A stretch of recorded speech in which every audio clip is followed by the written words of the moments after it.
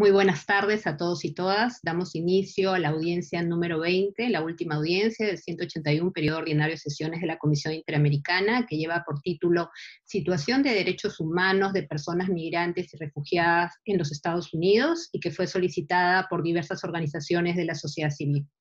Soy Yulisa Mantilla Falcón, primera vicepresidenta, y me acompaña la comisionada Flavia Piovesan, relatora del país, y el comisionado Estuardo Ralón, relator de personas privadas de libertad y para la prevención y combate a la tortura. También contamos con la participación de la secretaria ejecutiva adjunta de monitoreo, María Claudia Pulido. Antes de empezar, eh, solo algunas precisiones, que tenemos una herramienta digital, eh, les voy a pedir por favor que la eh, estén mirando para ver el tema de los tiempos. Eh, también tenemos interpretación bilingüe, también subtítulos, y esta audiencia es transmitida en vivo en las diversas plataformas. Por favor, les voy a solicitar que tengan las cámaras encendidas y los micrófonos apagados cuando no estén haciendo uso de la palabra. Eh, voy a explicarles entonces la distribución del tiempo. Vamos a empezar con 20 minutos para la sociedad civil, luego de lo cual el Estado participará por 20 minutos, posteriormente la Comisión Interamericana por otros 20 minutos, luego haremos una segunda ronda con la sociedad civil y el Estado cada uno por 12 minutos. Dicho esto, entonces, tiene la palabra las organizaciones de la sociedad civil, a las que agradezco se presenten en los nombres y de qué organización vienen. Muchas gracias.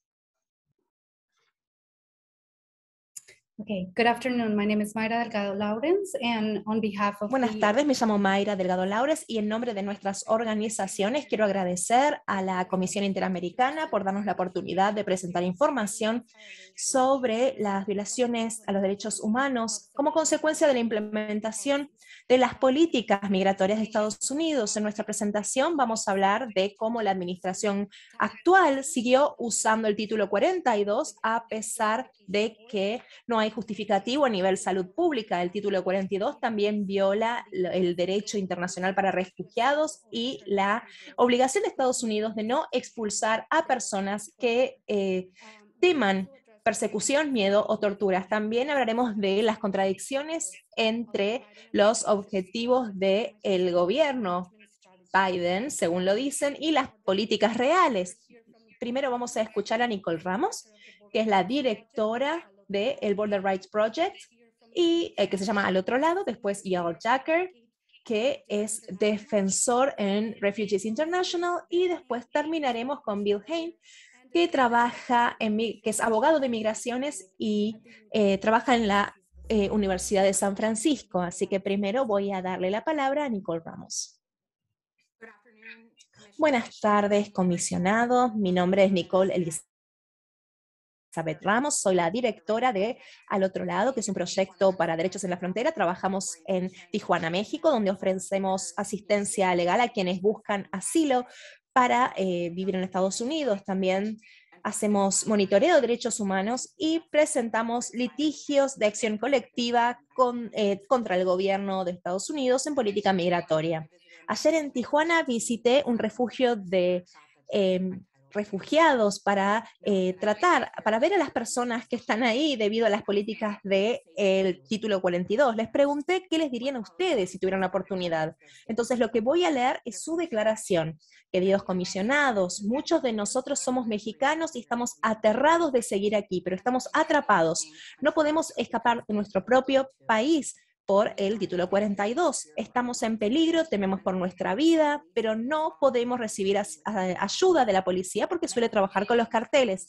Muchos de nosotros venimos de pueblos del sur de México que están siendo invadidos y algunos de nuestros familiares han sido secuestrados y obligados para trabajar en el, para el cartel o los han desaparecido. El crimen eh, organizado mata a todas las personas que le digan que no y a veces matan a una familia entera si uno les dice que no. No queríamos dejar nuestros hogares y venir a la frontera pero sabíamos que nos matarían si no lo hacíamos.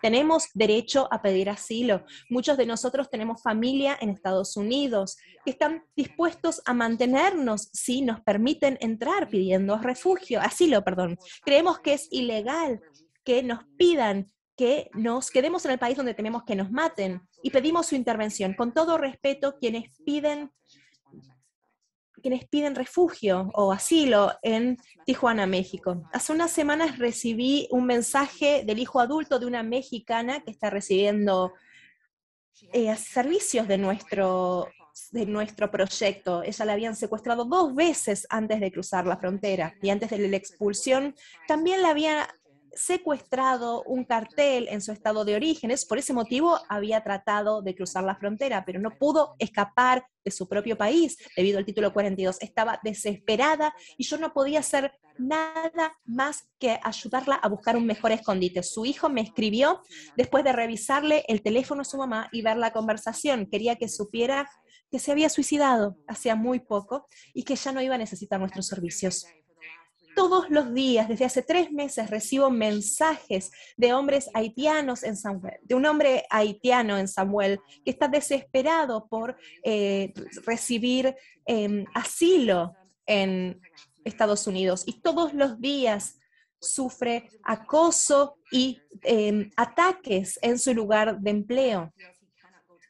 Samuel Fioso no puede ir a la policía a pedir ayuda porque eh, quienes lo atacan podrían sobornar a la policía, lo cual no cuesta mucho, lamentablemente. Y las autoridades mexicanas suelen ignorar sus, eh, las denuncias de abusos y torturas que presentan los inmigrantes, los migrantes negros. ¿Qué le digo a la gente como Samuel? Que si bien soy abogada y el derecho a pedir asilo está en nuestro derecho doméstico internacional, pero que ya no está disponible para él, que la pandemia y el título 42 son un puro pretexto para que Estados Unidos impida que más personas negras y marrones que buscan asilo puedan quedarse en su país, que nuestras instituciones legales y órganos ejecutivos y eh, legislativos, sin importar de qué partido son racistas, la decisión de no proteger a los refugiados de Estados Unidos no es nueva, en el 1939. Estados Unidos rechazó el MS San Luis, que contenía a miles de judíos refugiados que buscaban refugiarse en Florida. Muchos de ellos fueron asesinados en la Segunda Guerra Mundial. Y ahora con el título 42 es como si rechazáramos uno de estos barcos todos los días en todos los puertos de Estados Unidos. Según nuestros datos de mediados de junio, mediados de agosto de 2021, el colectivo al otro lado, analizado por Human Rights First, casi el 83% de todas las personas que buscan asilo en la frontera entre Estados Unidos y México por el artículo 42 han sufrido ataques o amenazas en la frontera. Y para peor, el gobierno de Estados Unidos sabe que envía a estas personas a morir cuando rechaza a la gente y ha admitido esto en el contexto de los litigios federales. Fuera de la violencia que eh, se sufre en la frontera, también los someten a condiciones tan terribles que creemos que al combinarse, estamos hablando de un genocidio.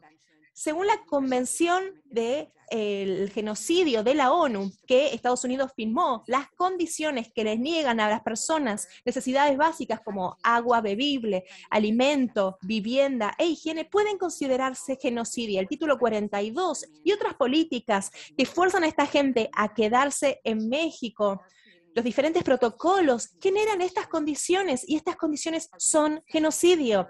Un reciente estudio de la Universidad de California, San Diego, que investigó a mil migrantes en Tijuana, descubrió que de 100 individuos que llevaban ahí eh, atrapados 18 meses en la frontera, el 99% no tenía dinero para pagar alojamiento, salud o alimentos el 56% no podía comer esa semana, no tenía alimento para esa semana.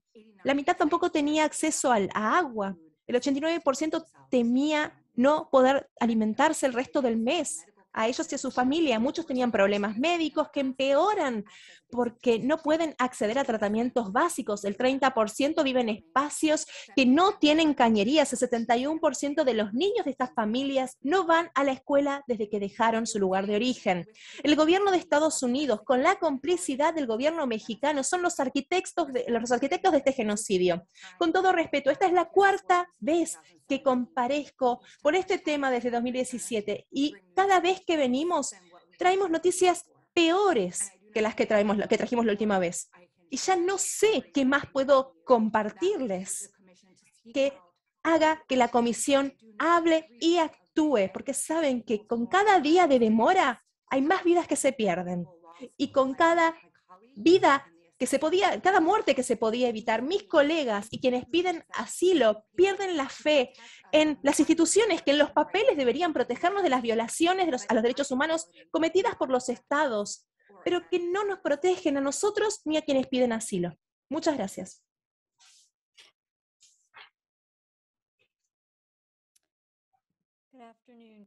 Buenas tardes, comisionados. Soy Yael Shasher, trabajo en Refugees International, una organización independiente que está en Washington, D.C., que aboga por las personas víctimas de em, eh, desplazamientos forzosos. En el 21 de octubre de 2021, el secretario de Estado les dijo a los líderes de todas las Américas que la migración era un problema compartido, humanitario, pero que debía abordarse con mayor cooperación y mayor control.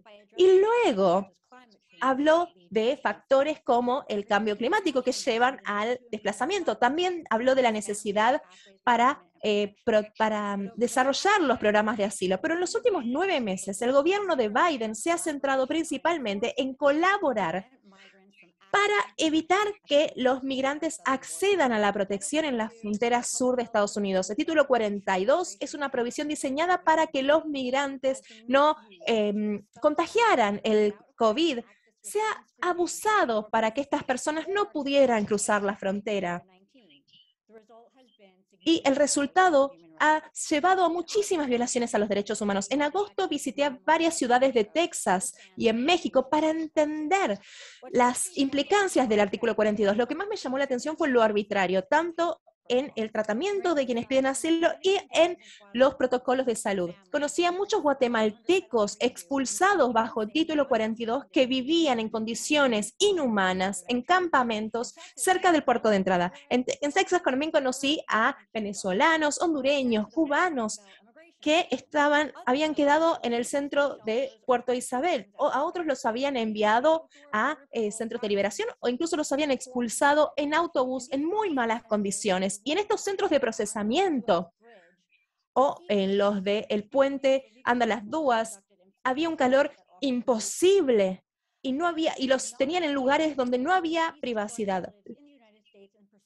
A las familias que dejaban pasar, las enviaban con sus familias, pero después las procesaban o las enviaban a hoteles o centros de procesamiento. La arbitrariedad y la falta de acceso a protección tiene consecuencias terribles. Conocí a una mujer hondureña embarazada y enferma en Reynosa que huyó de Honduras con su marido y su hijo de tres años después de que unas pandillas le quemaron su tienda porque le quisieron extorsionarla y ella no podía pagarlo. En México se preocupó porque no sabía que si la familia cruzaba la frontera junta, podían separarlos y podían mandar a su esposo a detención. Así que ella cruzó un día después que su marido y esposo. Al final, liberaron a su esposo y su hijo y los mandaron a un refugio y a ella la detuvieron en una celda helada y la expulsaron otra vez a Reynosa, donde se enfermó y ahora teme por su seguridad en el campamento de Reynosa y no tiene cómo reunirse con su familia. Hablé con muchísimas personas que piden asilo y claramente el mensaje de Estados Unidos es no vengan. Y eh, siguen diseñando protecciones legales y la realidad es que las consecuencias son terribles. En San Antonio entrevisté a una pareja haitiana que habló de su viaje desde Chile, donde enfrentaron racismo, no conseguían trabajo ni documentos, tuvieron que cruzar México y tardaron 20 meses en hacer este viaje. En el campamento de Reynosa, un padre guatemalteco sufría dolor de de pez, de pecho y ansiedad extrema. Estaba preocupado por su hija porque un huracán había destruido su hogar en su pueblo y había lastimado a su hijo de nueve años. Padre e hijo habían tratado de cruzar la frontera y habían sido expulsados y enviados de vuelta a Reynosa. Muchas de estas personas eran padres e hijos de entre 8 y 10 años. México y Estados Unidos cínicamente están acordando que estos chicos no pueden detenerse bajo la nueva ley de protección infantil, pero eh, tampoco los dicen que los pueden expulsar sin acceso a absolutamente nada. Una mujer hondureña que conocí en el campamento dijo que la habían violado en la plaza el día anterior, aparentemente eh, por su orientación sexual. Hay gente a la que maltratan en el centro de Vita en Reynosa y los presionan con demandarlos bajo el título 42. Y estas personas vulnerables eh, eh, hay, perdón, hay eh, organismos humanitarios que están tratando de lograr que crucen la frontera, pero la realidad es que ya no aceptan a más grupos. La gente en Reynosa está desesperada. Como me dijo un pastor en ese refugio, se dieron cuenta de que se estaba cerrando la puerta y no entendían por qué los echaban a ellos o cuándo se iba a volver a abrir la puerta.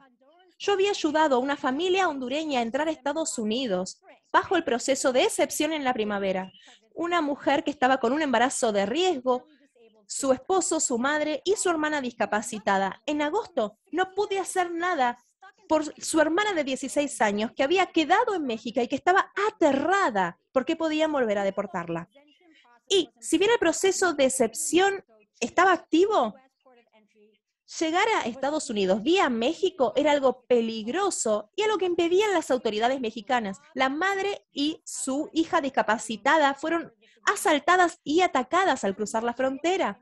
Un abogado de Estados Unidos estaba tratando a eh, migrantes muy enfermos. Y una vez que logró estas excepciones, logró la admisión de un hombre cubano con cáncer con metástasis y su familia que sufre convulsiones, pero México se negó durante varios meses a darles los documentos de viaje para que pudieran volar de Tapachula a Matamoros. Cuando por fin llegaron, los tuvieron encerrados durante horas en el aeropuerto de Matamoros. Lo mismo pasó con una familia migrante guatemalteca.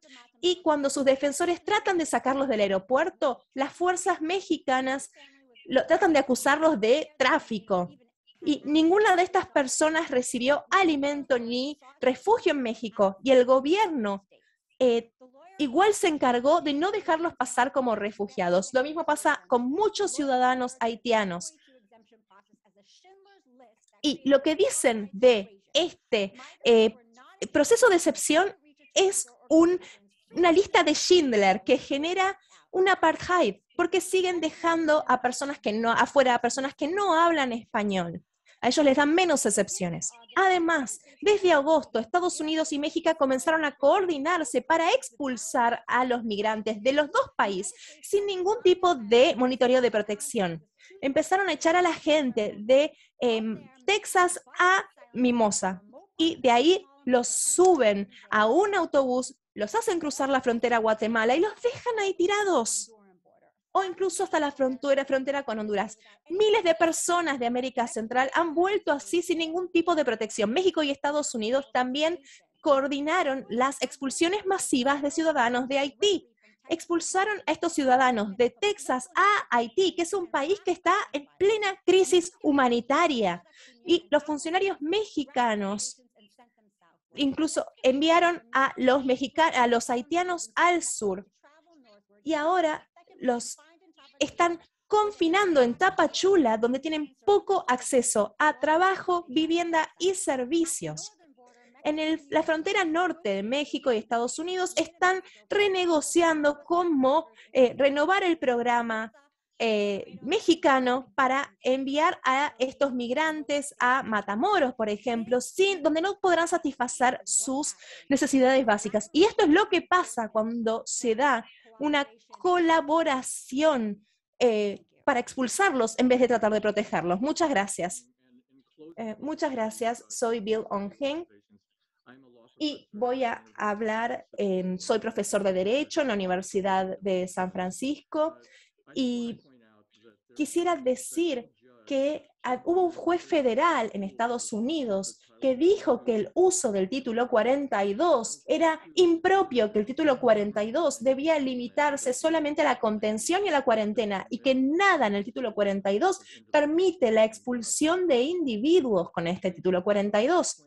Y quisiera decir que hasta eh, los asesores del presidente han aconsejado contra el uso del título 42 su eh, Anthony Fauci, que es su asesor principal en cuanto a salud, dijo que el título 42 no es la solución. E irónicamente, cuando la vicepresidenta Harris era senadora, ella presentó legislación contra el uso del título 42.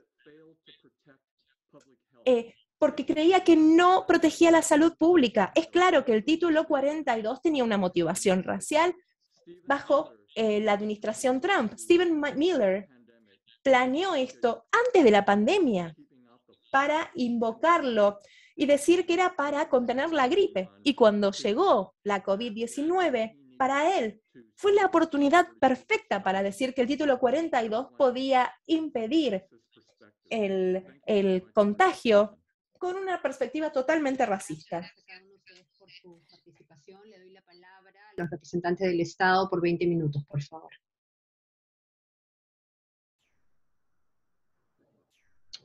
Good afternoon. Buenas tardes.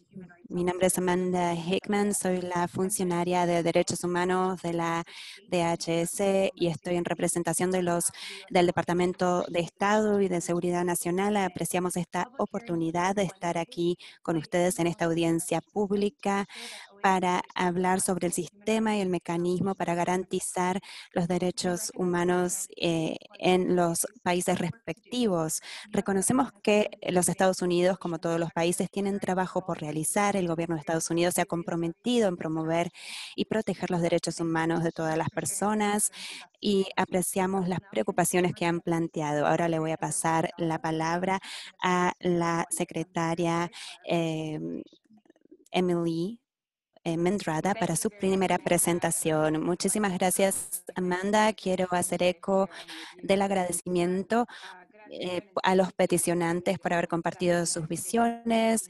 Quiero eh, decirles que les también agradezco compartir los pasos que Estados Unidos está tomando para reducir la inmigración irregular y abordar las causas raíz de estas irregularidades. Estados Unidos se compromete a los esfuerzos que van a eh, reducir la inmigración irregular desde el hemisferio occidental. Esto requiere un enfoque integral que aborde tanto los impulsores eh, a corto como a largo plazo. Hay factores complejos que causan a estos individuos a migrar. Estados Unidos continúa coordinando con asocios regionales en la responsabilidad compartida en la región para abordar las necesidades de eh, ayuda humanitaria y también las condiciones mejoradas en todo el hemisferio en el largo plazo. También trabajamos en las causas raíz y en concentrarnos en la gestión eh, colaborativa, en expandir las opciones para los caminos legales para la inmigración y también para garantizar la protección nacional. Creemos que priorizar tanto el acceso a la protección como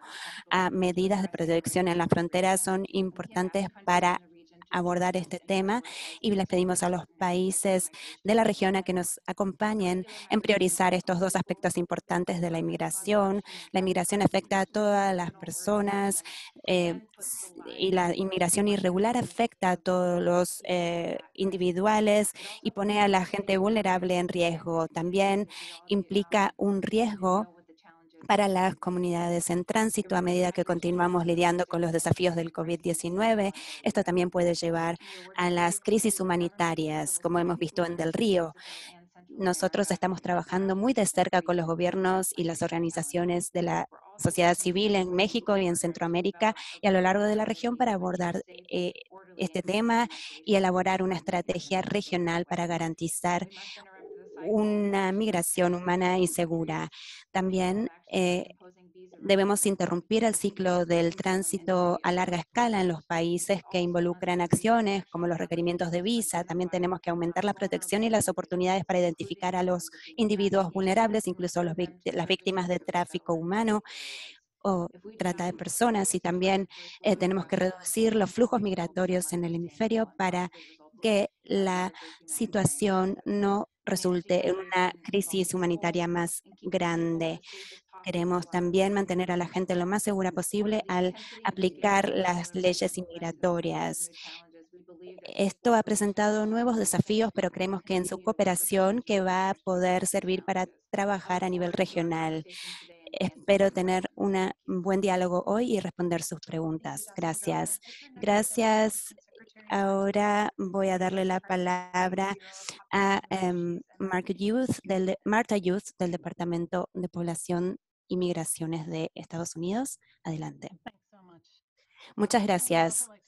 Ahora yo también quiero hacer eco del agradecimiento y los comentarios de parte de nuestros colegas de la sociedad civil. Quiero explayar en lo que mencionó la eh, secretaria adjunta Manzala sobre las causas raíz y el enfoque de eh, los refugiados y desde la Oficina de Población, Refugiados y Migración estamos dispuestos a colaborar en esta estrategia. el gobierno de Biden-Harris reconoce que las personas y las comunidades siempre se movilizan en busca de buenas oportunidades en respuesta a desastres naturales, para escapar la persecución, tortura, amenazas de partes de gobiernos o organizaciones criminales. Y esto es parte, esta migración colaborativa es parte de la administración del presidente Biden y también se eh, complementa con eh, la reconstrucción de nuestro sistema de asilos y de los caminos legales en la región. Queremos trabajar con gobiernos regionales y otras partes interesadas para redefinir a aquellos migrantes que ya están en movimiento o están en riesgo de ser desplazados. La, eh, la, transición y la recepción y el origen en los países de destino, todos tienen que ver con la migración hacia el hemisferio occidental. Todo va a llevar tiempo para eh, encontrar la causa raíz y elaborar la estrategia. En el corto plazo estamos avanzando en la elaboración de estas estrategias y de ampliar los caminos y las vías legales para eh, una inmigración segura, ordenada y humana.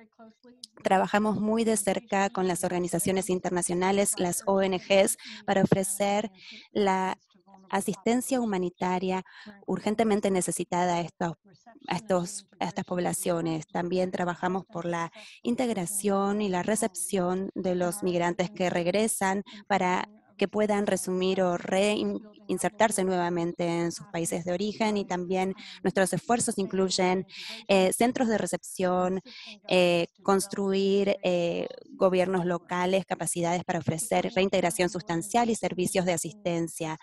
Trabajamos también con las organizaciones para establecer información y centros de orientación para asistir a las poblaciones para poder acceder a información creíble y actualizada sobre sus derechos y los recursos que tienen disponibles. También eh, elaboramos programas para asistir a los inmigrantes y potenciales inmigrantes para que se informen sobre los riesgos que implica la inmigración irregular, eh, el contrabando y otras cuestiones al usar fuentes oficiales de información y tratar de ayudar a los migrantes a reconocer información fraudulenta y falsa. En cuanto a las vías legales de Estados Unidos, estamos buscando vías que realmente protejan a los refugiados y su restablecimiento, ofrecer oportunidades de reunificación, oportunidades de empleo, eh, visas temporarias y visas de inmigrantes. Quiero también resaltar el programa para los migrantes de menores centroamericanos que terminó en 2019 y fue reiniciado por este gobierno y fue ampliado para incluir tanto a aquellos que están en Estados Unidos cuyos eh, que son padres o tutores de menores de Honduras, Guatemala, El Salvador y la elegibilidad de los padres en Estados Unidos fue ampliada para los que eh, solicitan asilo y tienen algunas solicitudes de visa eh, pendientes. Nuestras embajadas en Centroamérica también están trabajando para erradicar las demoras en procesamientos de visa. Este, sabemos y estamos al tanto de que eh, la gente pierde la paciencia con esto, entonces estamos tratando de erradicar esta demora. Actualmente no tenemos ninguna demora con respecto a las visas de trabajadores temporarios y estamos impulsando sólidamente para que eh, estas, eh, estos crecimientos de, solicitudes vaya eh, reduciéndose. También tenemos programas de admisión, distribución para Latinoamérica y el Caribe. Eh, este número es de 15.000, es el número más grande desde la sanción del acto de, la, Ley de Refugiados de 1980. Para alcanzar este objetivo ambicioso, estamos buscando mejorar la capacidad de organización internacional y la sociedad civil para identificar y referir a más individuos con necesidades urgentes. Además, estamos trabajando para aumentar eh, la admisión de refugiados en Estados Unidos en la región y continuamos explorando vías adicionales para mejorar el procesamiento para los refugiados. También apoyamos programas de empleo y migración que faciliten el acceso igualitario para oportunidades de trabajo dignas y también nos concentramos en garantizar los, derechos de los trabajadores en estos esfuerzos. Nuestros esfuerzos se ven complementados con programas mejorados para garantizar que el tratamiento de los eh, migrantes sea eh, humano y eh, justo. Y también quiero mencionar el, al secretario Blinken, que viajó a Colombia la semana pasada y se reunió con sus contrapartes en 15 países para conversar sobre la colaboración con países en la región, incluyendo las oportunidades de protección en la región. Muchísimas gracias. Gracias, eh, señora Youth. Ahora tenemos presentación de nuestros colegas del Departamento de Seguridad Nacional. Vamos a hablar con el director ejecutivo de políticas, Remy Crampback. Buenas tardes, distinguidos comisionados y comisionadas, peticionantes y colegas. Es un honor estar aquí con ustedes hoy en nombre de eh, las aduanas de Estados Unidos y la protección de fronteras.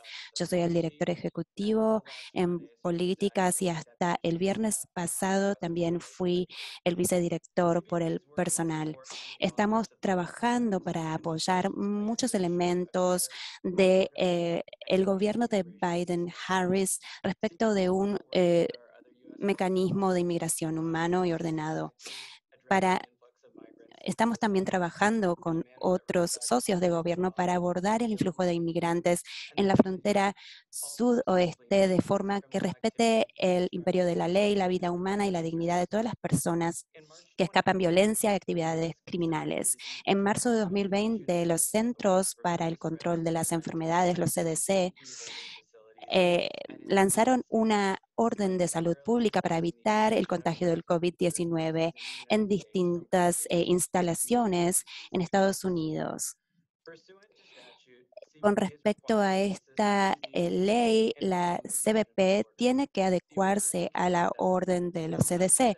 Esta orden, esta ordenanza eh, indica que bajo la ley de servicio de salud y su regulación que lo implementa el director del CDC, autorizado a suspender el derecho de entrevistar personas en Estados Unidos cuando el director determina que eh, la existencia de una enfermedad puede generar un riesgo o un peligro y el peligro se aumenta con la interacción de las personas del país extranjero o lugar eh, donde hay una suspensión temporaria del derecho de dicha introducción. A pesar de que esta ordenanza evita la introducción de ciertas personas en Estados Unidos, también explícitamente reconoce que hay una necesidad de eh, una excepción de caso por caso. Esta orden indica que no, eh, esto aplica a las personas eh, cuyos oficiales de aduanas determinan que están exceptuados de esta ordenanza en base a la totalidad de las circunstancias, inclusive la consideración de distintas cuestiones e intereses de salud pública. Desde que se puso en vigencia esta orden, se, ha adaptado cientos de personas en la frontera e incluye, eh, eh, continúa implementando distintos procedimientos.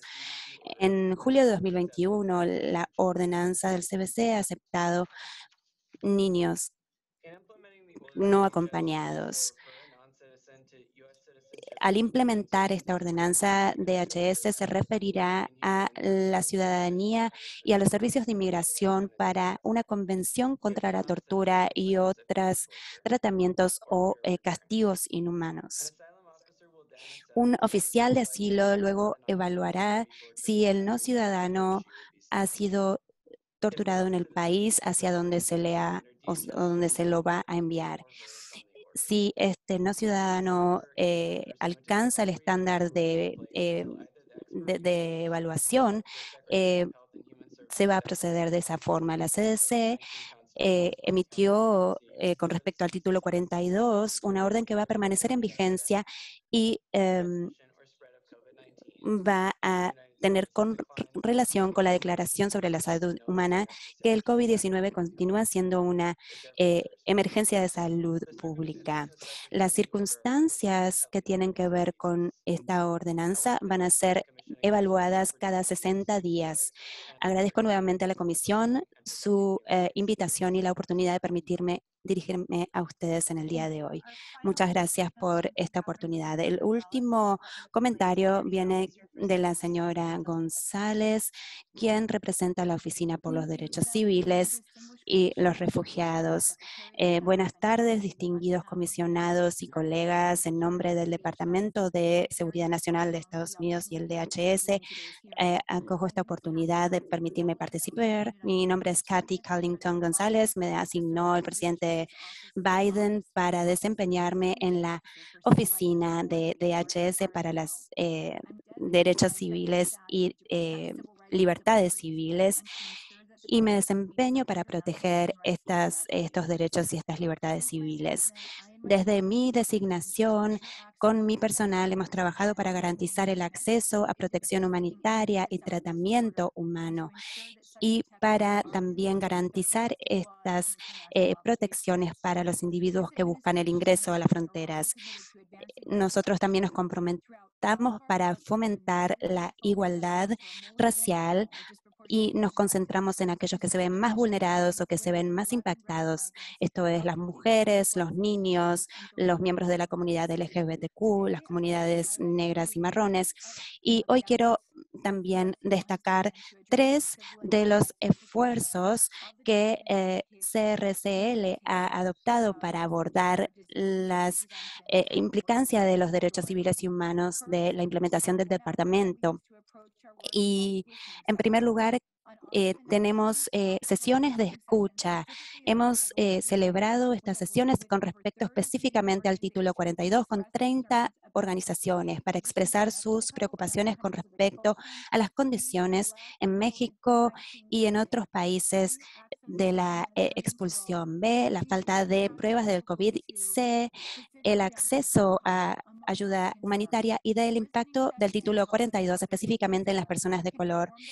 Este tipo de iniciativas puede informar las políticas y puede también brindar consejos eh, que el CRCL ofrece. En segundo lugar, nosotros hemos ofrecido una serie de recomendaciones basadas en el cumplimiento para abordar la cuestión de derechos civiles. Entre marzo y octubre de 2021 hemos recibido 83 casos y abrimos 40 eh, quejas o investigaciones respecto de eh, violaciones de derechos civiles y libertades civiles.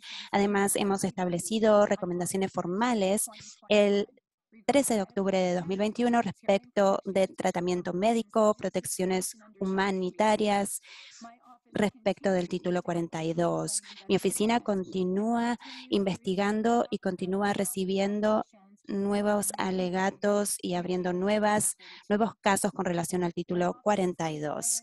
Mi oficina eh, y su cumplimiento y rápida respuesta eh, entre septiembre 23 21-23 eh, ha abierto distintas investigaciones respecto del caso de los inmigrantes expulsados bajo el título 42. Buscamos eh, resultados respecto de la implementación del título 42, tales como eh, notificaciones de libertad condicional y otras notificaciones y el uso de fuerza de parte de patrullas de la policía.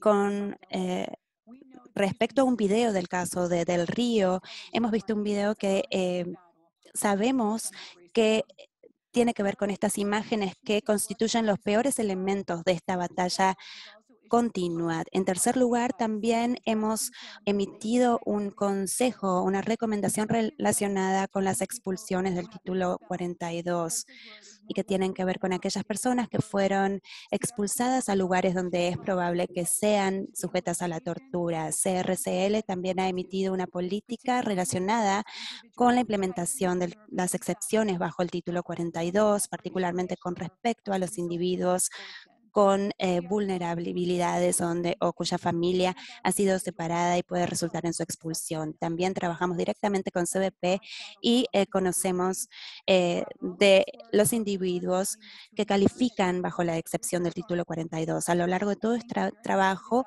nuestro objetivo es garantizar que los individuos en riesgo sean protegidos. Muchas gracias por haberme escuchado. con esto se cierra la participación del Estado y entonces va a iniciar la Comisión Interamericana. En primer lugar, le voy a preguntar a la relatora de país, segunda vicepresidenta de la comisionada Flavia Piovesan. Thank you so much. Muchísimas gracias, primera vicepresidenta. Quisiera empezar expresando la gratitud y reconocimiento y la, para la relevancia de esta audiencia sobre los derechos humanos de migrantes en Estados Unidos. Así que gracias a todas las organizaciones, a eh, todas las alianzas por compartir tanto, por darnos este panorama tan dramático. Y también quisiera expresar la solidaridad con todas las víctimas. Fue difícil de escuchar. Y quisiera expresar gratitud y reconocimiento por el compromiso del Estado aquí representado y el compromiso para cambiar esta política, sobre todo. Como relatora para los derechos de las personas LGBTI, debo decir que con respecto a los derechos de estas personas, las políticas de género, la Comisión Interamericana está muy orgullosa de la nueva administración y hemos enviado muchos tweets y publicados em, de prensa porque, sobre este tema, porque creemos que esto puede abrir un nuevo horizonte para toda la región. Pero, en relación a los migrantes y refugiados, esto no se da.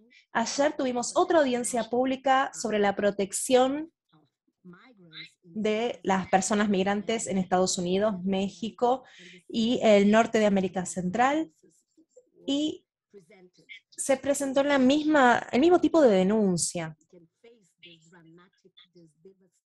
Entonces, debemos afrontar el impacto dramático del eh, título 42, aunque obviamente vemos algunas excepciones, vemos que es temporario, pero lo que vemos es el uso de la fuerza arbitrario, un uso de la fuerza desproporcionado con respecto a las personas y grupos en situación de vulnerabilidad. Entonces, quisiera hacer tres preguntas a los representantes del Estado. Pero antes tomé nota, me alegró oír al final las tres medidas que me parecen muy importantes para abrir eh, canales de denuncia, para implementar políticas con las recomendaciones, pero me parece que mm, sería muy importante eh, que, ver, que el Estado nos informe de manera más holística, más integral, el impacto del título 42 en relación a los derechos humanos. Es decir, que se aplique un abordaje más, un informe, perdón, con respecto a los derechos humanos en vinculación con el título 42. Em, también con respecto a la audiencia tan dramática que tuvimos ayer, me parece que es momento, que es urgente a que haya un informe de parte del Estado. Entonces quisiera pedirle al Estado si existe la posibilidad de que haya un informe centrado en los derechos humanos y sus consecuencias, las consecuencias del título 42. Mi segunda pregunta tiene que ver con el racismo, con la interseccionalidad. Como relatora, otra vez, de, los derechos de las personas LGBTI, sabemos que hay un impacto desproporcionado con respecto a la raza, el abuso sexual, el género.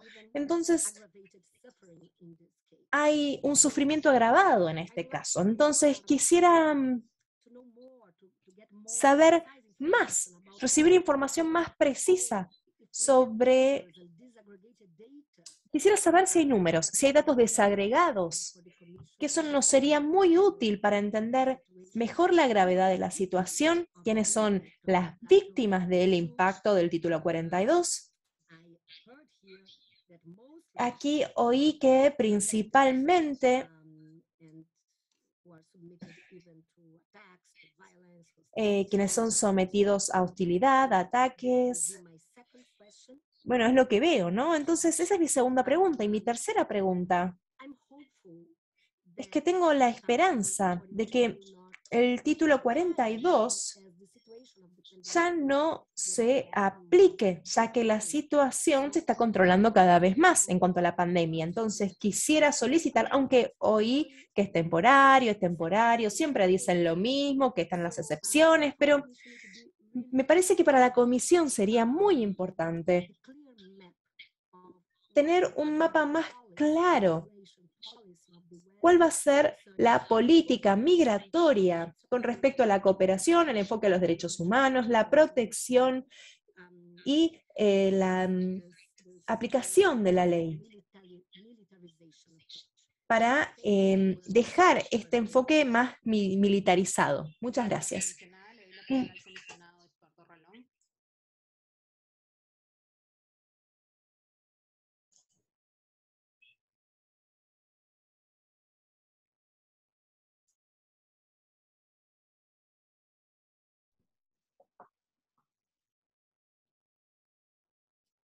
Sí, muchas gracias. primera vicepresidenta, eh, comisionada, colegas, un saludo a los peticionarios de la audiencia, también a los representantes del Estado. Eh, yo quisiera comentar que eh, me quedo bastante preocupado por lo que han señalado las organizaciones de la sociedad civil que nos, nos han descrito una situación dramática. Eh, al inicio de esta audiencia comentaban en su primera intervención que pareciera ser que hay una percepción de las organizaciones que en este tema de la situación migratoria del 2017 a la fecha la situación ha venido empeorando, que hay una situación de terror para muchas personas. Es una situación que genera eh, cuestiones dramáticas en las cuales están en riesgo en su propia vida y que en tanto esto no se resuelva en cada momento que demore una solución, pues pueden perderse muchas otras vidas en esta crisis. Y yo creo que eso es algo muy grave. Y, mm, hay un punto que señalaban las organizaciones respecto a que hay una percepción que en los últimos nueve meses de la actual administración Biden-Harris se ha abusado del título 42. Y si bien escuchaba al Estado algunas medidas, también tomé nota de la intervención y el enfoque integral a esta situación migratoria ¿Y cómo ven esta situación? O sea, ¿existe algo que amerite una decisión un poco más urgente? ¿Hay algún abuso en marcha que se pueda detener respecto a la aplicación de este título 42? A mí me gustaría poder escuchar un poco su reacción a esto que han mencionado las organizaciones. Y mm, debo de mencionar que eh, dentro de la comisión, pues hay varias relatorías, tanto temáticas como de país, y pues soy relator para Haití. Y en esta crisis migratoria, pues pudimos ver o pude ver dentro de los medios de comunicación cabalmente un, incidente de varias personas de Haití que fueron, por así decir, eh, confrontados por una fuerza de autoridad en caballos y que prácticamente eh, hubo un uso desproporcionado de la fuerza, pero sobre todo un trato que no es digno de que una persona lo reciba, que fue en una situación de esa crisis migratoria. Entiendo que hubo una especie de, de suspensión de cualquier actuar en esa área de las autoridades, digamos, de caballería en ese sentido de control de frontera, pero quería saber si si eso se mantiene o no, si esa suspensión se mantiene, si cambió alguna política a lo interno. Eso básicamente sería en mis preguntas, pues estoy consciente que es una realidad muy difícil y un problema bastante complejo, pero quería dejar esos comentarios y esa inquietud. Muchas gracias. Gracias, comisionado. Eh, antes de dar la palabra a la relatora, eh, como relatora, primera vicepresidenta y relatora para las personas migrantes, quería hacer algunos comentarios. Primero, eh, anunciar que la Comisión Interamericana está preparando un informe subregional sobre movilidad humana que va a incluir el caso de Centroamérica, México y Estados Unidos. En ese sentido, toda la información que las organizaciones nos puedan acercar sobre este caso será de valioso, será, será muy valorada por la Comisión porque nos va a permitir construir este informe que a diferencia de otros informes que han sido eh, focalizados en solamente uno de los países, va a ser una visión eh, más holística y más completa eh, del problema tan grave que se está enfrentando. Como lo ha dicho la segunda vicepresidenta, la Comisión Interamericana ha valorado las acciones del Estado, los cambios que se han dado, eh, pero sin embargo eh, tenemos que expresar nuestra preocupación. Nosotros hemos recibido información eh, que tenemos 845 mil personas expulsadas de los Estados Unidos bajo el título 42 entre marzo del 2020 y agosto del 2021. Y en ese sentido, mi primera pregunta, digamos, era, ya mis colegas han, han hablado del título 42 y las organizaciones han expresado eh, la valoración ¿no? de, esta, de, esta, política, pero tanto esta política título 42 como los programas Quédate en México, quería preguntar al Estado si ha habido alguna evaluación de estas políticas, más allá de mantenerlas. O sea, estas políticas se dan con un objetivo. ¿Ha habido una evaluación de esas políticas? ¿Realmente está cumpliendo los objetivos que se, están, eh, que se plantearon? Porque lo cierto es, y como decía eh, Nicole Ramos, es la cuarta audiencia y hay mucha información sobre los problemas de violaciones de derechos humanos que se han presentado, tal como también lo señalaba eh, el comisionado Ralón. Entonces mi primera pregunta es si ha habido una evaluación en este sentido que permita ver qué posibilidades hay de cambiar políticas que están generando estas situaciones. En segundo lugar, también más allá de las investigaciones eh, que, nos, adelantó, en otra audiencia eh, nosotros tuvimos ocasión de hablar de la situación del caso de Irwin por casos eh, de acusaciones de esterilizaciones sin consentimiento y quería saber si había investigaciones sobre este tema concreto, cuál era el desarrollo, el estado de las investigaciones y si había habido otras investigaciones en la materia.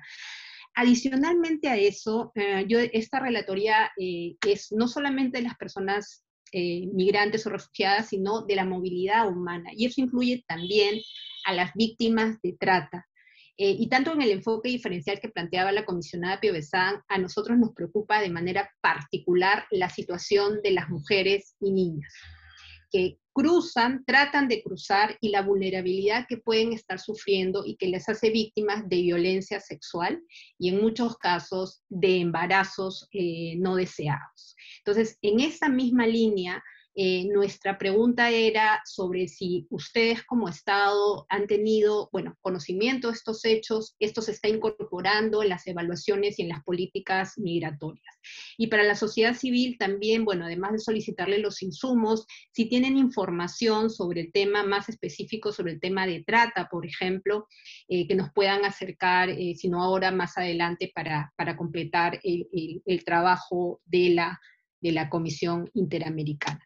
Dicho esto, le doy la palabra a la relatora Soledad García, por si tiene preguntas.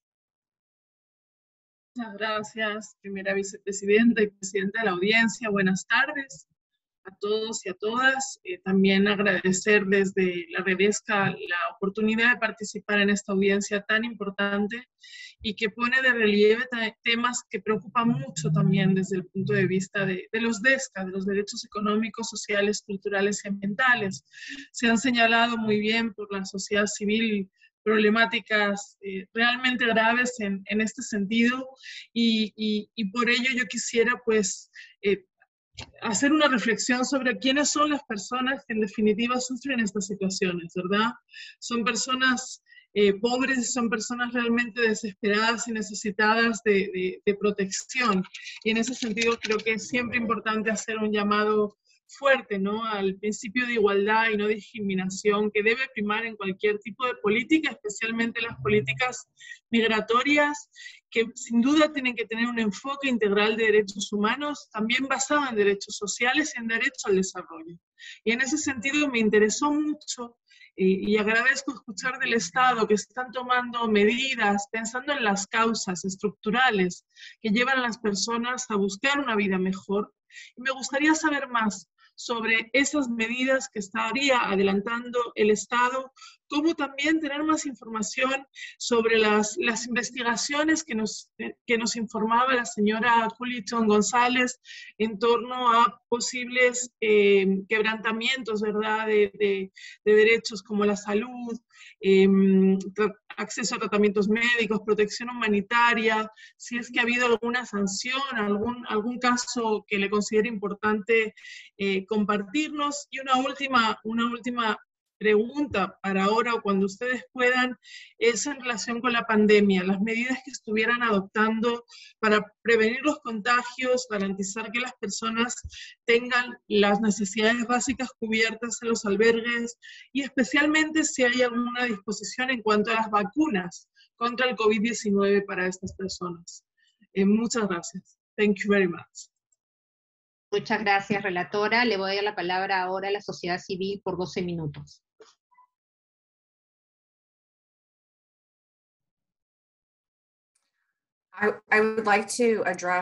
Quiero eh, abordar algunos de los comentarios planteados por el gobierno.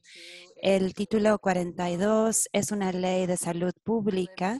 Eso no es cierto. Yo vivo en Tijuana, México, y veo todo el tiempo a los residentes yendo y viniendo, diferentes personas que vienen a la playa, que van a entretenerse y regresan sin mascarillas a los Estados Unidos y no son sometidos a ningún tipo de evaluación de prueba de COVID, ni tampoco se les pide estar vacunados. Estamos evitando que los que solicitan asilo ingresen a Estados Unidos porque tenemos miedo del COVID. No tenemos miedo del COVID, tenemos miedo de los migrantes. También el gobierno habló de eh, la gestión de eh, migración colaborativa, pero al ignorar el hecho de que los socios regionales han sido acusados, han sido um, documentados eh, como culpables de distintos abusos serios y numerosos de derechos humanos que se extienden hasta el día de hoy. Eh, hablamos sobre la inmigración irregular como un problema a ser evitado. Esto ha, sido, ha, sucedido desde el comienzo de los tiempos, desde que los judíos tratan de llegar a Egipto y sin embargo eh, las causas de las crisis en, el Estados, en Estados Unidos para honrar estas obligaciones eh, que ha sido acordado después de la Segunda Guerra Mundial es una crisis y Estados Unidos dice que cree que no podemos eh, tener la capacidad de procesar el retraso de los refugiados y la idea de que el CBP tiene la ley de presupuesto más grande para cubrir con estos recursos. Esto es claramente algo ridículo y como para ser peor, el gobierno ha eh, lanzado o ha dicho mentiras al público todo el tiempo respecto del contexto. Eh, ya que no tienen, eh, diciendo que no tienen la capacidad. Y mm, la Oficina del Inspector General ha presentado un informe en octubre de, 2022, de 2020 y esta idea sobre la capacidad limitada siempre ha sido un pretexto y el objetivo de estas políticas es evitar la inmigración. Dos cosas. Hubo un comentario respecto de los menores sin acompañamiento que podían ser permitidos el ingreso al puerto de entrada. Eso es una mentira.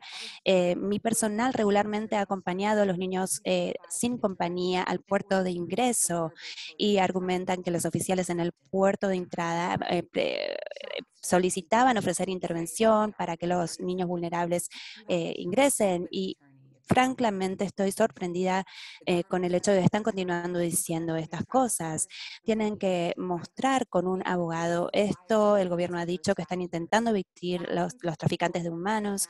Mm, cientos y miles de personas son secuestradas como resultado del título 42 todos los meses porque los carteles entienden que la gente está siendo expulsada rutinariamente en lugares específicos. También eh, contactan a los miembros de su familia y amigos para que Estados Unidos, eh, en Estados Unidos, si les solicitan sumas exorbitantes de dinero, se los eh, mantiene amenazados con una pistola y hemos trabajado con familias que no solamente son adultos que son torturados, pero también niños tan jóvenes como dos años de edad que están siendo amenazados.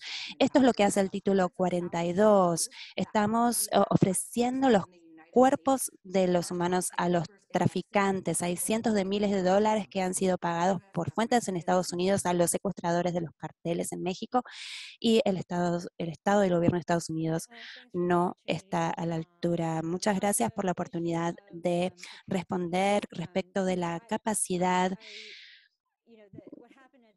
lo que sucedió en Del Río y con el caso del individuo de Haití, específicamente, el secretario Miorca habló en uno de los eh, programas de la televisión de la mañana y era imposible, dado el número de personas que llegaba, que la CBP desté a los haitianos antes de exponerlos nuevamente eh, y, expulsarlos en vuelos hasta Haití.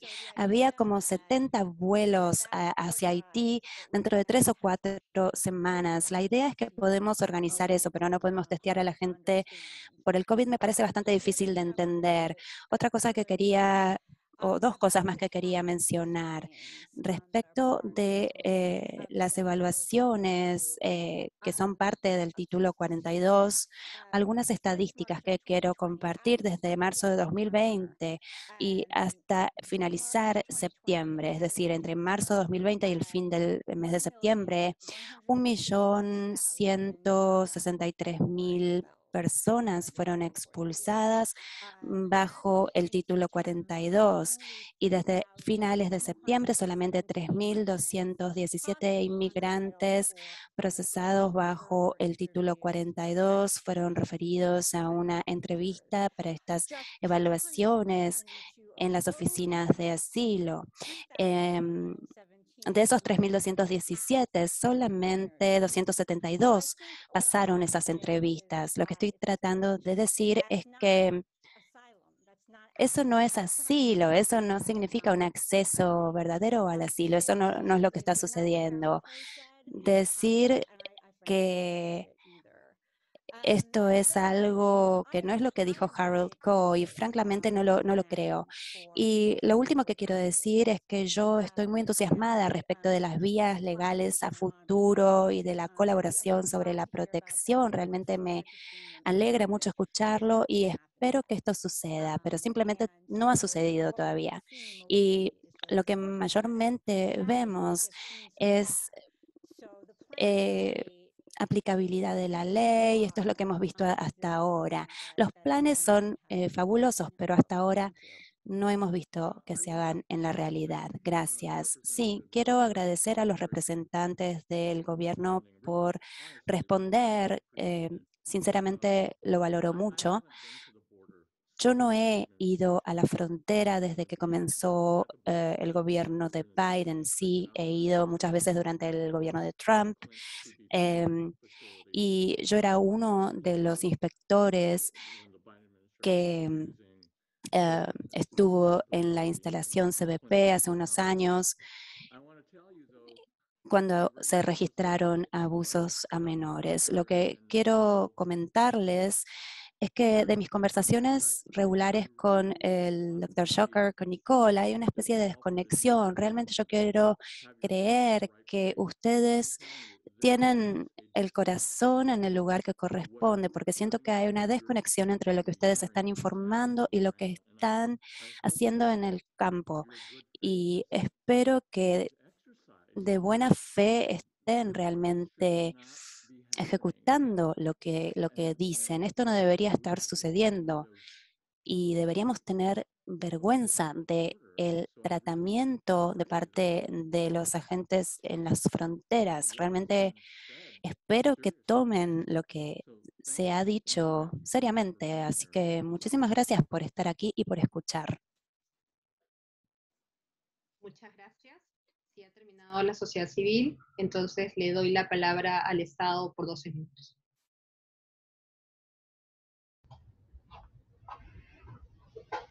I'm happy to start and, Yo um, puedo comenzar con gusto y muchísimas gracias a todos por sus comentarios, gracias a los comisionados y gracias a la eh, sociedad civil por sus comentarios y sus eh, preguntas de seguimiento. Quiero eh, compartirles los esfuerzos que hemos implementado para abordar estas cuestiones y también quiero comentarles que también tenemos algunas iniciativas para abordar las urgencias y también para eh, comentarles que el centro de la estrategia es eh, abordar las causas raíces en Centroamérica y va a llevar tiempo a que esto se eh, implemente por completo y demuestre resultados.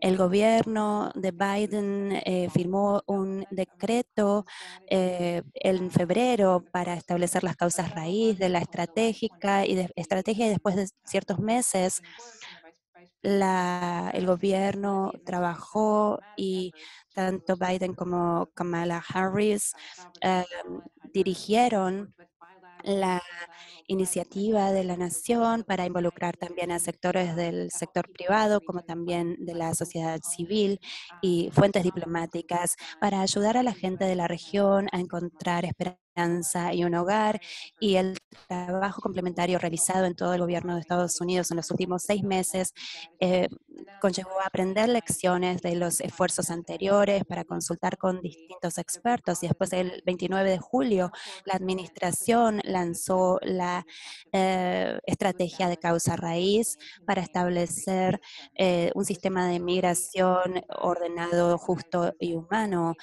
estos sistemas coordinan acciones para mejorar la seguridad, la gobernanza, los derechos humanos y las condiciones económicas en la región y también hace uso de las herramientas del gobierno como la diplomacia, la asistencia extranjera, la diplomacia y distintas sanciones para abordar las causas raíz de la inmigración, implementar esta estrategia.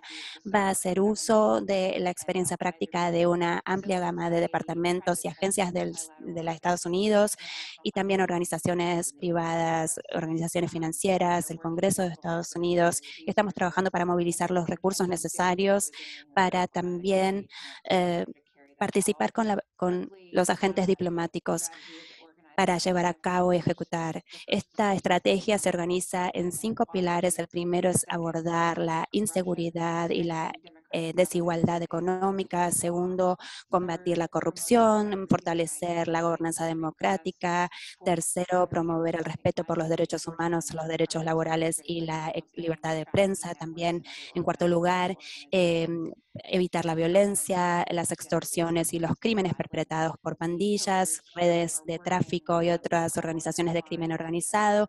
Todos estos pilares están trabajando, están interconectados, estamos mm, no trabajando en, en silos, sino que reconocemos la necesidad en particular para abordar la gobernanza democrática. Voy a frenar aquí y lo, le paso la palabra a mi próximo colega democrático.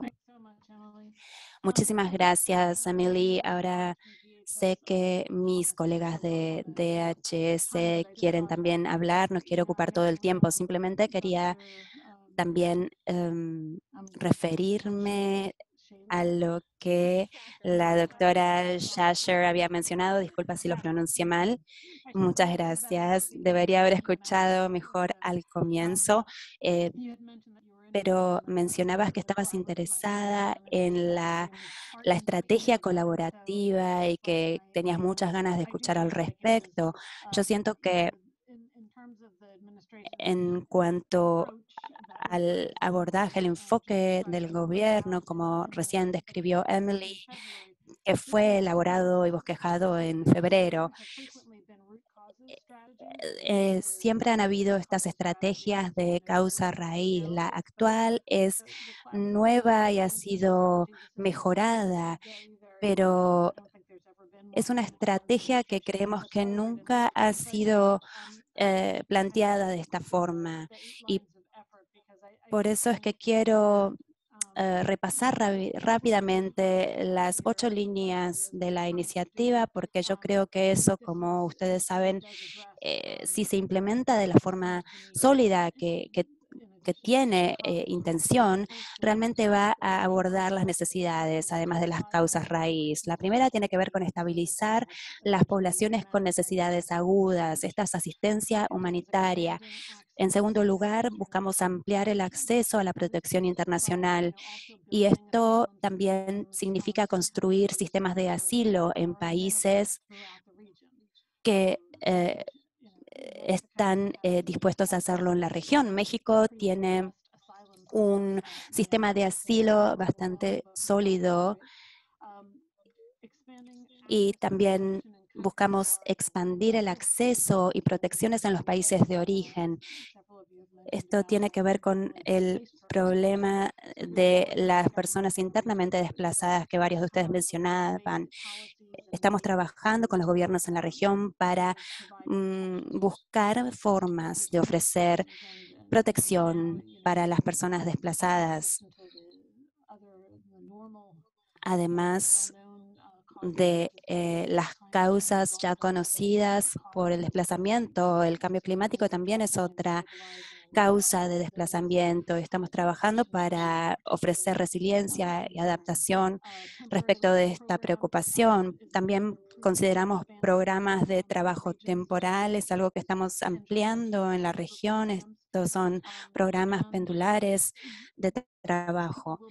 Y la gente va a ser deportada, va a ser regresada a sus países pero ofrecer una red de seguridad, una forma de asistir a estas personas eh, reintegradas. Las fronteras deben ser gestionadas, pero las estrategias de inmigración colaborativa se concentran en promover la administración de fronteras de formas seguras y humanas que existen. Y otro esfuerzo tenemos el mm, ofrecimiento de mensajes regionales y públicos. La idea es tratar de ayudar a la gente a que permanezcan fuera de las manos de los contrabandistas, de los traficantes, que es una situación cada vez más difícil. Esta debería ser una línea de esfuerzo separada, pero también la incluimos en la estrategia central y tiene que ver con el acceso a vías legales. Esto es algo que hemos tratado de concentrar, como ya mencionamos, eh, reabrimos el programa para menores centroamericanos y también eh, lo expandimos para que también incluya a más personas en distintas categorías. También tenemos las vías eh, de trabajo hacia los Estados Unidos, el acuerdo de transferencias de protección a través del cual gente de El Salvador, Guatemala y Honduras que tienen que son vulnerables pueden ser referidos a ese programa mientras esperan su trámite de solicitud como refugiados. Son esfuerzos que combinados creemos que son un enfoque muy útil para la región.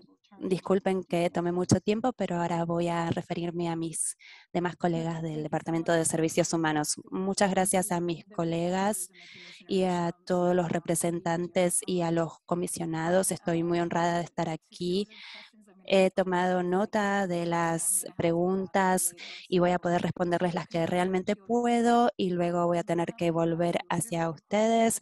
Eh, comisionada Pio voy a tener que referirme a sus preguntas más adelante, especialmente la que tiene que ver con la interseccionalidad y con respecto al informe, eso es algo que vamos a tener que discutir a nivel interno y voy a volver eh, con la respuesta más adelante para usted. Para la comisión eh, Ralón, también yo estoy muy preocupada y, tomo estos problemas muy seriamente. Estamos investigando la incidencia del caso de Del Río, cuando usted mencionó el tema del uso de fuerza y de los caballos que no han sido muy dignos, estamos investigándolo y lo tomamos muy en serio.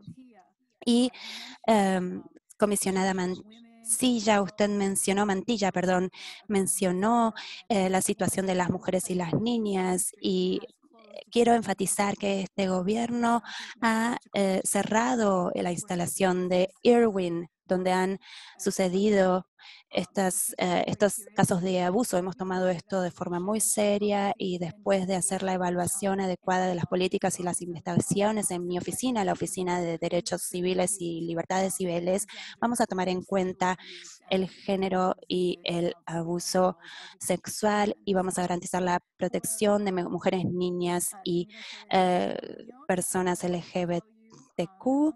Eh, señora eh, García Muñoz, quiero pedirle disculpas por hablar en inglés, pero tenemos seis investigaciones abiertas y tenemos un proceso em, que está ahora implementado, está disponible en nuestro sitio web, pero puedo compartirlo con usted. Cuando nosotros hacemos una investigación, emitimos una recomendación y, eh, por ejemplo, la investigación respecto del título 42 ha sido emitida para la patrulla de las fronteras para CBP y han tenido oportunidad de estar de acuerdo o no. Todo lo que tiene que ver con nuestras investigaciones es algo transparente, lo más transparente que es posible a nivel legal y em, necesitamos proteger la información de proceso deliberativa. Y también queremos enfatizar que si bien estamos complacidos de trabajar con la comisión, queremos continuar las investigaciones donde sea necesario. Así que por favor contáctense con nosotros o visiten nuestro sitio web que es eh, CRLCL Compliance y también estamos eh, dispuestos a colaborar con la comisión. Pero por favor a todos aquellos que presentaron sus eh, testimonios, sabemos que no todos tienen acceso a esta información, pero si nos dan la información a nosotros, nosotros lo vamos a investigar y se los prometo. Veamos ahora con respecto a las evaluaciones. Eh, a Yael, disculpa que también eh, pronuncié mal el apellido, Yasher, pero sí quiero también escuchar más respecto de esas evaluaciones eh, de salud. Tomamos esto muy seriamente y vamos a continuar investigando y recibiendo eh, la información y trabajando en las tres medidas que están bajo mi jurisdicción, que son las sesiones de escucha, las investigaciones de cumplimiento y dar recomendaciones sobre las políticas que incluyen a la política de inmigración de una perspectiva de derechos civiles y libertades civiles. Ahora sí, mi colega, por favor, Remy. Muchas gracias por esta oportunidad. Solo sé que queda poco tiempo, pero quería decir un par de cosas. Desde nuestra perspectiva, después de lo sucedido en Del Río, enviamos a varios oficiales y em, para medir la responsabilidad de los agentes, para estudiar qué es lo que está pasando. Todavía no puedo hacer comentarios sobre la investigación porque no se ha cerrado, pero nos tomamos estas acusaciones muy en serio y pretendemos investigarlas y eh, llegar a conclusiones sobre lo sucedido o lo que no sucedió. Y estamos comprometidos con expandir nuestras capacidades para investigar todas las denuncias que surjan. Con respecto a la capacidad de procesamiento, creo que fue uno de los temas por los que se preguntaron, siempre estamos buscando nuevas maneras innovadoras de mejorar nuestra capacidad de procesamiento. Entendemos la necesidad de procesar de manera humana y rápida a las personas que quieren cruzar la frontera. Estamos investigando y creamos un nuevo cargo que es la coordinación de eh, procesos en la frontera que serán empleados, que no serán fuerzas de seguridad, que estarán a, cargo de supervisar todo este proceso y eh, seguirán el proceso de los migrantes eh, bajo, que están bajo el control en este momento de las fuerzas de seguridad. En este momento eh, ya tenemos varios cientos de coordinadores y la idea es seguir aumentando el número. Tenemos el objetivo de tener 600 coordinadores para el año 2022 y 1.200 en total en los próximos cuatro años. Agradezco al Estado, que ya estamos sobre la hora, dos minutos y le puedo regalar 30 segundos para terminar, por favor.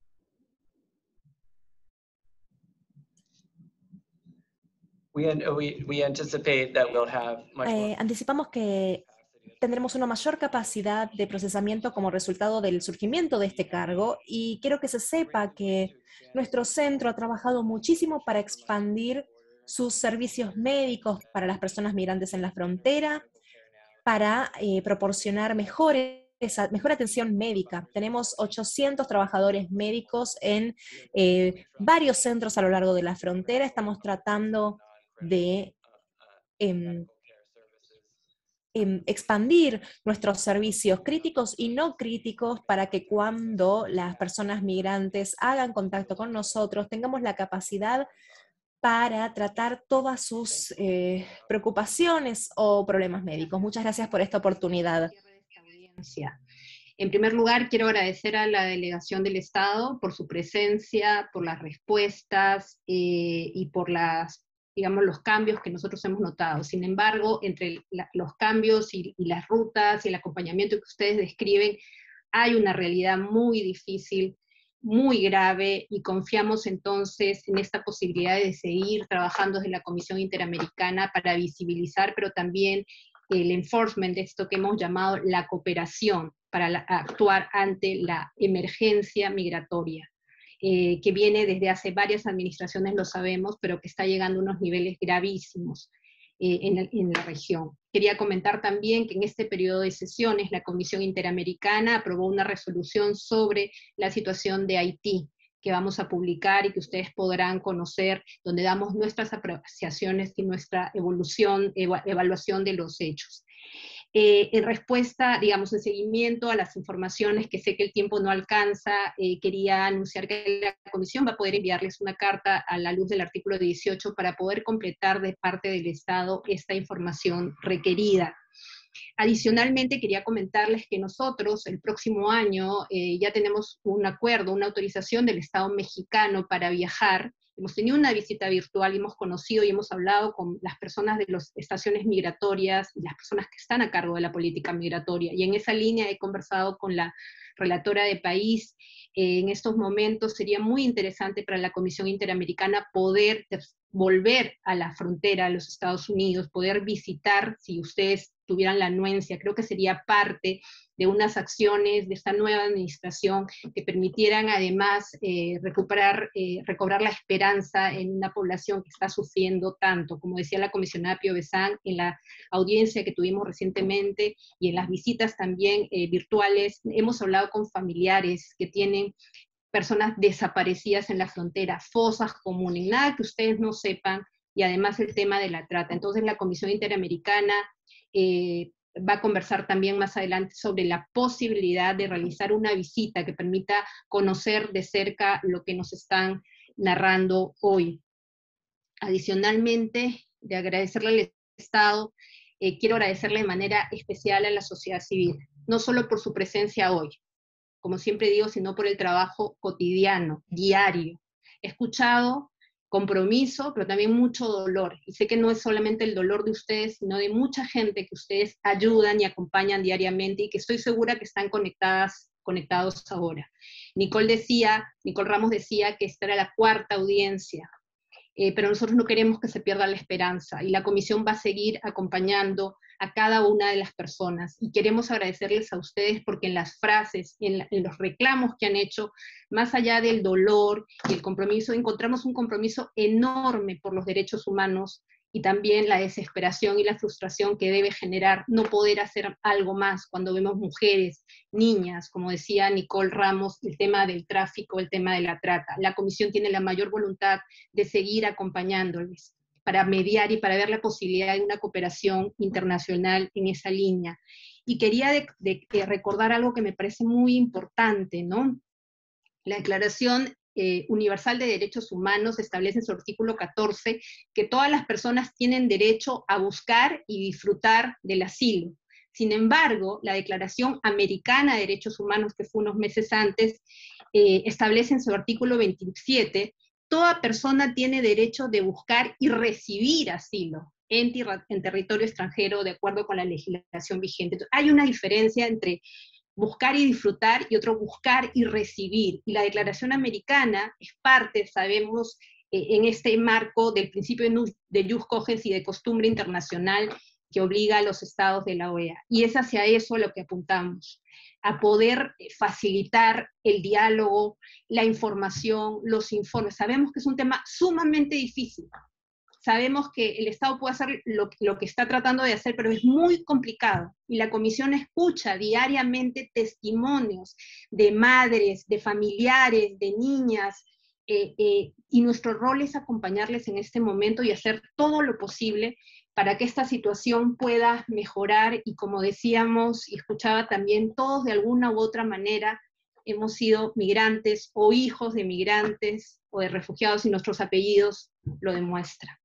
Con esto entonces cierro esta audiencia, pero también cerramos el 181 periodo de sesiones. Creo que es muy simbólico cerrarlo ahora, pero con esta llamada a la esperanza. Quiero agradecer públicamente al equipo de la Comisión Interamericana, a la secretaria ejecutiva adjunta, a la otra secretaria eh, ejecutiva, a las personas que ustedes están viendo ahí con las pantallas apagadas, la jefa de gabinete Norma Coledani, a cada una de las personas que ha hecho posible este periodo de audiencias y que son el equipo que además también trabaja en el monitoreo, escucha testimonios y permanentemente demuestra ese compromiso que la Comisión Interamericana les quiere transmitir. Les agradezco mucho por su presencia, declaro cerrada esta audiencia y cerrado el 181 periodo de sesiones. Buenas tardes, hasta luego.